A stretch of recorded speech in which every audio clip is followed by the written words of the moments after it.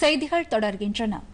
தமிழகத்தில் இருபத்தி எட்டாயிரம் கோடி ரூபாய் முதலீட்டை பெறும் வகையில் இருபத்தி ஏழு நிறுவனங்களுடன் மாநில அரசு இன்று புரிந்துணர்வு ஒப்பந்தம் மேற்கொள்கிறது.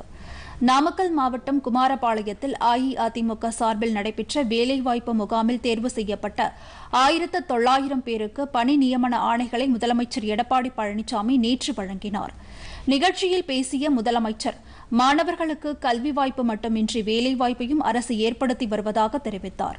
உலக முதலீட்டாளர் மாநாட்டின் மூலம் மூன்று லட்சத்து ஐம்பத்து மூன்றாயிரம் கோடி ரூபாய் மதிப்பீட்டில் தமிழகத்திற்கு முன்னூற்று நான்கு நிறுவனங்கள் வந்திருப்பதாக தெரிவித்தார். இதன் மூலம் பத்து லட்சம் பேருக்கு வேலைவாய்ப்பு கிடைப்பதாகவும் இருபத்தி எட்டாயிரம் கோடி ரூபாய் மதிப்பில் இருபத்தி ஏழு புரிந்துணர்வு ஒப்பந்தங்கள் இன்று கையெழுத்தாக இருப்பதாகவும் இதன் மூலம் முப்பத்து ஐந்தாயிரம் பேர் பயன்பெறுவார்கள் என்று முதலமைச்சர் எடப்பாடி பழனிசாமி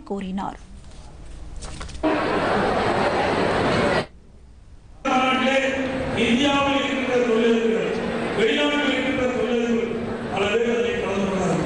அதில் மட்டும் மூணு லட்சத்தி ஐநூத்தி ஒரு கோடி தொழில் முதலீடு ஈர்த்து முன்னூத்தி நாலு தொழில் தமிழகத்துக்கு வருவதற்கு எங்களுடைய அரசு நடவடிக்கை இந்த முன்னூத்தி நாலு தொழில்கள் தமிழகத்தை ஒதுங்கிடும் போது நேரடியாக பட்டம் முடிந்த தொழிலாளர்